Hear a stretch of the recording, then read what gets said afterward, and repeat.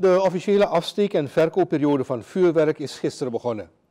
Sintje Ashroef, voorzitter van de Henk Abraham Stichting, zegt dat de honden rond deze periode heel erg bang zijn. Zij geeft aan dat een hond het vuurwerk, geknal, wel 16 maal harder hoort dan mensen.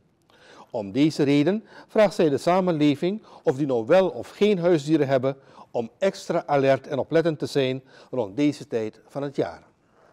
Het belangrijkste is dat u de dieren observeert.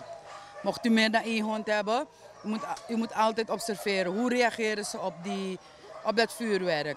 Kijk, de meeste honden of dieren, alle dieren lijden. Alle dieren ondervinden enorm veel last van het vuurwerk. Vogels vallen dood uit bomen, hartstilstand. Weet u, slangen horen via trillingen. En uh, ja, honden die horen vele keren beter dan mensen. Dus het punt is dat je, je huisdier, dus in dit geval wij beschouwen slechts honden en katten als huisdieren, niets anders. Maar natuurlijk weten we ook dat mensen vogels hebben in kooien en dat soort dingen, papegaaien. Dus wat we adviseren is dat ze hun dieren deze dagen goed observeren. Er zijn honden die extreem bang zijn, beginnen te kwijlen, bieven.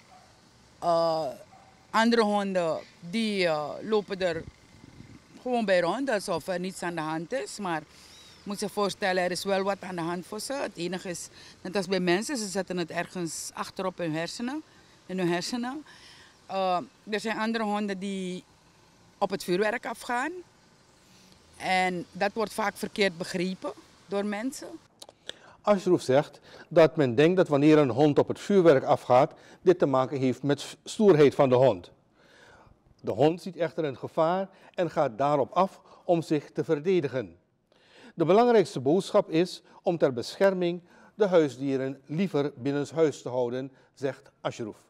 Wat we adviseren is, je hebt een washok misschien, je hebt ergens een vrije kamer, iets, een kamer, een ruimte. Zet die dieren erin.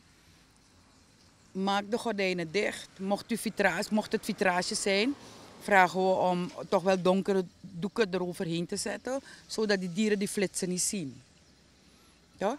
Uh, het geluid ga je nooit echt kunnen weren, want onze huizen zijn niet zodanig gebouwd. Dus het geluid ga, zal je nooit kunnen weren. Maar wat we wel vragen is, maak muziekluid aan. Maak die televisie aan. Zet het luid aan, zodat dat een beetje, misschien ergens een klein beetje dat geluid van die knallers overstemt. Want het gaat meer om dat illegaal, die knallers die, die zo, zo dodelijk zijn voor mensen en dieren. Want ze zijn niet goed, het is niet goed. En ik begrijp niet waarom, waarom ze steeds weer geïmporteerd worden, ondanks adviezen van de van het Korps Brandweer Suriname. Sintja Afstroef, voorzitter van de Henk Abraham Stichting. Zij sprak vanmiddag over vuurwerk en huisdieren en meer in het bijzonder over honden.